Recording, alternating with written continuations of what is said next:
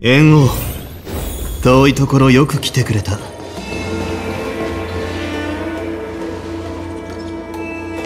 将軍列車のみんなを連れてきたんだけど。いやちょうどいい時に来てくれた。請求列車の諸君。遠くから友人が来てくれたんだ。いいに決まった。紹介しようこちらは泉州主命の食塩将軍。海燕殿だ。そうかしこまる必要はない。今回は将軍と。海燕殿は定休に仕える。将軍だろうと百夜だろうとただの肩書きに過ぎない。わしは何度も辞職しているが今は状況が変わったからな。元帥に再び招集結局のところは自分のせいだな。長生きすればするほどお目にかかれて光栄です。お目にかかれて光栄です。海燕将軍。かしこまる必要はないと言っている。軽減この三人が前に言っていた剣木の危機を救ってくれた救世主。ああ。炭鉱殿美月殿そして彼女の力がなければラフは今回の陰月君の後世が再びラフに戻り演武天霊に参列するとはな。機会が。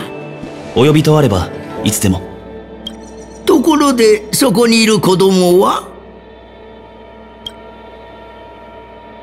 私の弟子の元凶だ。まだ若いから護衛としてそばに置き経験を積ませようと思っている。今回の演武天霊でもラフ運気軍の代表。いい実にいい。今日だけでこれほど多くの優秀な若者に出会えるとは。ああそうだ。年を取ると忘れっぽくなっていかんな。こやつはわしの孫弟子の運理。君は？ああ。なんだ？こんなところで会えこの子は制作被験そうだよ。せっかくさそれは無理。無理？この剣を返してほしい。この剣だって同じ。それに。わうんりさん。ラフの剣士。今なんて？あなたが正々堂率直に言うけど。君。元凶うん。それでいい。おじいちゃんいおじいちゃんはちょっとした誤解がある。何が美名諸君私後で時間を見つけてゆっくり話そう。そんなにかしこまらなくていい？どうやら間が悪いと。そんなことはありません。海燕将軍。ほれ行ってこい。はいはい。確かに誤解元凶。客人の案内が終わったら私の代わりに彼らをなだ了解将軍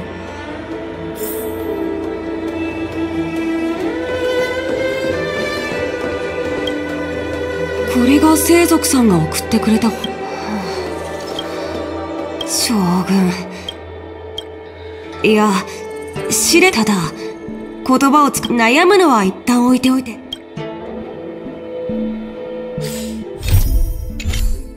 悩むのは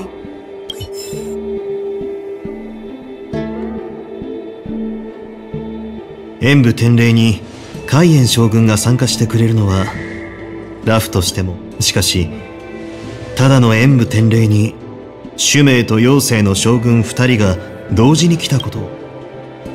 軽減考えすぎだ。あの妖精の将軍が何をしようとしているのかについてもわしは何も知らんのだ。覚えているか？お前さんが就任したばかりの頃低級の天将の戦場はラフの外だけにあるわけではないと言ったことを。戦場に出て敵を撃ちあれから随分経ったがお前さんはよくやっている。だが先州人にとって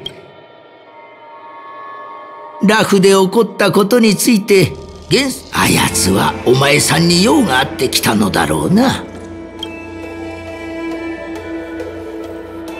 だがどうもおかしいな。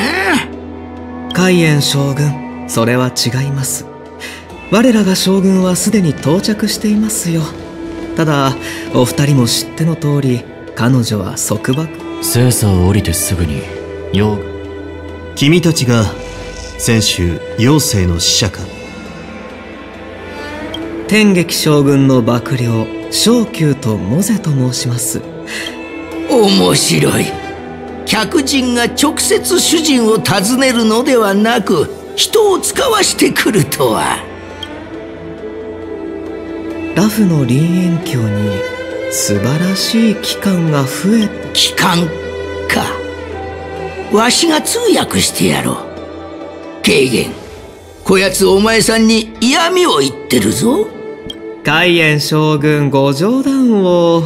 僕は事実を伝えただけに過ぎます。十分景色を楽しんだら将軍もこちらに来てお二人に謝罪することでしょう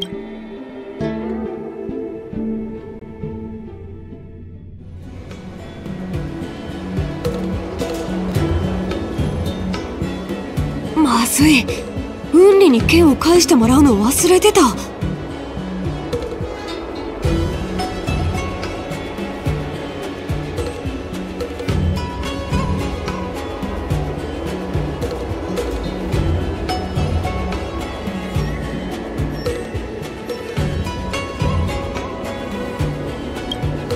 ううん大丈夫。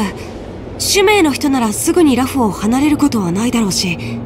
また次会った時に帰そういえば。かしこまってる？じゃあ僕の考えすぎかもしれないね。いや考えすぎではない。絶対そうだ。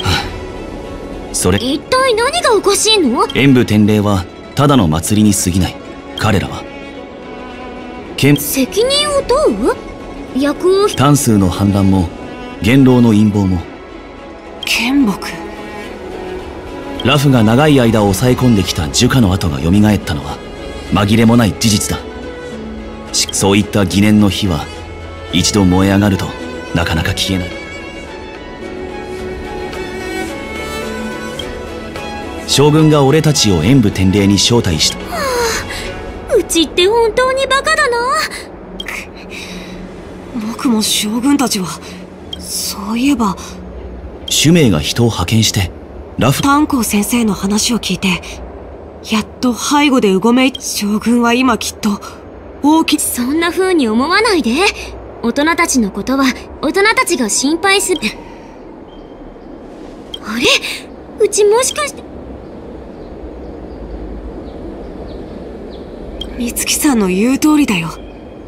僕はまでも将軍から任されたことは何だって精一杯や。すごく悩んでるっぽいとこ見ちゃうと。それはダメだよ。手伝おうとしてくれるの。安心して。か大口なんか叩いてない。分かった。先生たちが手伝ってくれるって言うなら僕も断らない。構造紙に行ってカンパニーの人たちに